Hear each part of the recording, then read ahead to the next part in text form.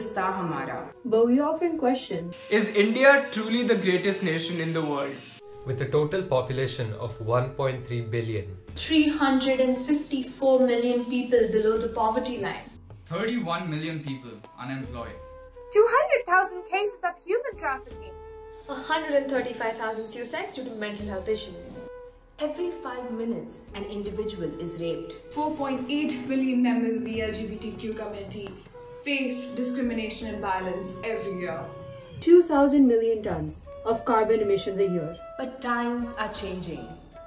Our military is expanding. Our education system is reforming. The economy is growing. Our mindsets are evolving. We have come a long way and we still have a long way to go. Who are the drivers of future change? Our politicians? Our businessmen? our actors, Our religious leaders? No. No, we, We are. This Youth Day. Take a stand. Educate yourselves. Educate the people around you. Know your rights. raise awareness, And fight to bring about change. Educate an unprivileged child. Teach them a vocational skill. Take a step towards sustainability. Invest in biodegradable products.